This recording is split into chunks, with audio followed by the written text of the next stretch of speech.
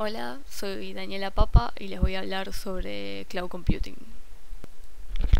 Cloud Computing es un paradigma que permite ofrecer servicio de computación a través de Internet. En este tipo de computación, todo lo que puede ofrecer un sistema informático se ofrece como servicio, de modo que los usuarios puedan acceder a los servicios disponibles en la nube de Internet sin conocimientos en la gestión de los recursos que usan. La computación en la nube son servidores de Internet encargados de atender las peticiones en cualquier momento, se puede tener acceso a su información o servicio mediante una conexión a Internet desde cualquier dispositivo móvil o fijo ubicado en cualquier lugar. Sirven a sus usuarios desde varios proveedores de alojamiento repartidos frecuentemente también por todo el mundo. Esta medida reduce los costos y garantiza un mejor tiempo de actividad. Cloud Computing es un nuevo modelo de prestación de servicio de negocio y tecnología que permite incluso al usuario acceder a un catálogo de servicios estandarizado y responder con ellos a las necesidades de su negocio de forma flexible y adaptativa, en caso de demandas no previsibles o de picos de trabajo, pagando únicamente por el consumo efectuado o incluso gratuitamente en caso de proveedores que se financian por publicidad.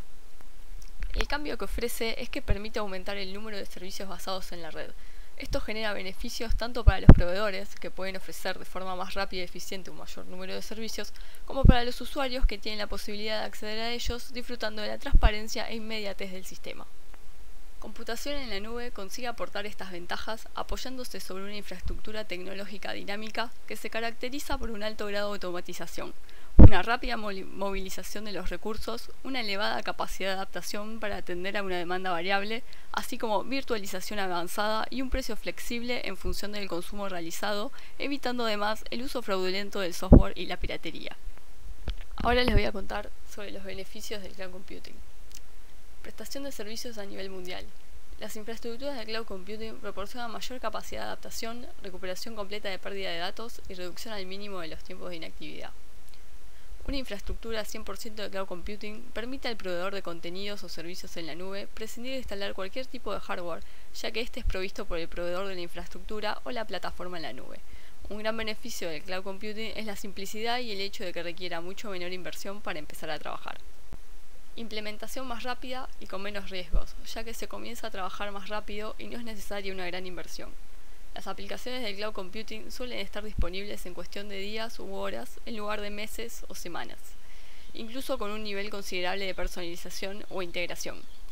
Las actualizaciones automáticas no afectan negativamente a los recursos de IT, dado que las personalizaciones e integraciones se conservan automáticamente luego de la actualización.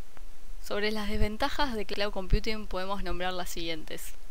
La centralización de las aplicaciones y el almacenamiento de los datos origina una interdependencia de los proveedores de servicios. La disponibilidad de las aplicaciones está ligada a la disponibilidad de acceso a Internet. Los datos sensibles del negocio no residen en las instalaciones de, las empresas, lo que podría generar un contexto de alta vulnerabilidad para la sustracción o robo de información. La disponibilidad de servicios altamente especializados podría tardar meses o incluso años para que sean factibles de ser desplegados en la red. La madurez funcional de las aplicaciones hace que continuamente estén modificando sus interfaces, por lo cual la curva de aprendizaje en empresas de orientación no tecnológica tiene unas pendientes significativas, así como su consumo automático por aplicaciones. Con respecto a la seguridad, la información de la empresa debe recorrer diferentes nodos para llegar a su destino.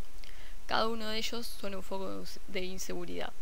Si se utilizan protocolos seguros, como por ejemplo HTTPS, la velocidad total disminuye debido a la sobrecarga que estos requieren.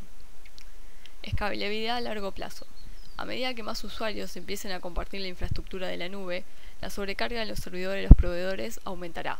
Si la empresa no posee un esquema de crecimiento óptimo, puede llevar a degradaciones en el servicio. Ahora vamos a ver cómo crear una máquina virtual en Windows Azure. Cliqueamos en el botón New.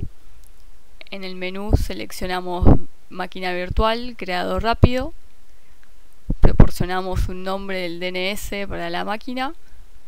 Ingresamos la password del administrador y elegimos el tipo de máquina que queremos. Y luego le damos crear virtual machine. Ahora hay que esperar a que termine el proceso de creado de la máquina virtual.